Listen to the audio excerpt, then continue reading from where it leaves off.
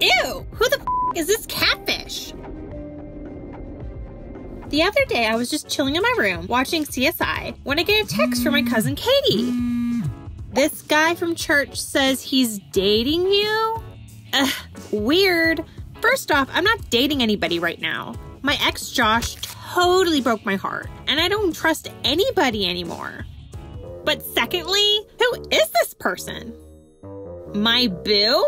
I don't know a Mike Richards, and he's definitely not my boo. He doesn't even go to my school. And how the hell did he get my selfie? My Insta is private. I texted Katie right back. Shady. She said Mike works at a grocery store she goes to, and she was going there right now to tell him off. And I was like, wait a second, I am totally coming with you. Normally, I hate confrontation, but this just pissed me off so much. I'm sick of guys who spread rumors about girls just to be cool. It's not okay.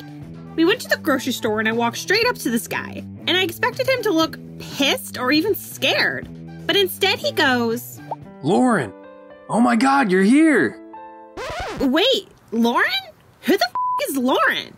Also, don't touch me. Ew, gross. No. He tells me he's been talking to this girl named Lauren, who looks just like me, for months. He said he's been trying to meet up with her, but she's always busy, and she has to take care of like her sick aunt or something. I'm sorry, but I don't know you, and I've never messaged you. Oh my god, dude, you're being catfished. And someone out there is using my pictures to catfish you. But who would do that? I don't know. Looks like it was time for me to put on my detective sunglasses. I told Mike to screenshot everything. They made him give me the phone number this Lauren's been texting from.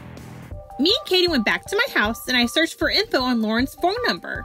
Don't look so surprised. We've all watched Catfish before. You know what to do. The address linked to the phone number was just on the other side of town. We were both scared to go there, but we decided we had to. I sent like three of my friends the addresses in case anything happened to us. On the drive over, I was so, so, so nervous. Who was doing this? Was it a creepy old man in a basement? Was it a kid from school I just never noticed before? Either way, it had to be somebody who followed me on IG. Otherwise, how would they get my pictures? But nobody I'm friends with would do that to me. I don't think. When we got there, I was legit shaking.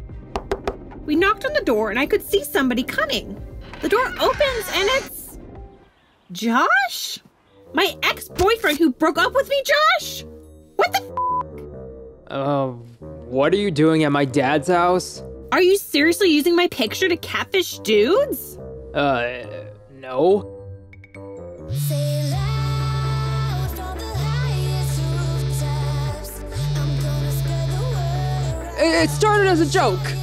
Wow. Aren't jokes supposed to be funny? That's when Josh told me he missed me so much that he just wanted to see what it felt like to be me? Gross! I felt like he was wearing my skin or something. He said that when he started to get a lot of attention, it just felt so good and he couldn't stop. Well, you're gonna have to, because this is crazy. Also, Mike knows and I'm going to the police. Did you know false impersonation is actually a misdemeanor? Thanks, CSI. Looks like I really am a detective. I learned some important things that day. One, my cousin is the best. Binging TV shows can be good for you.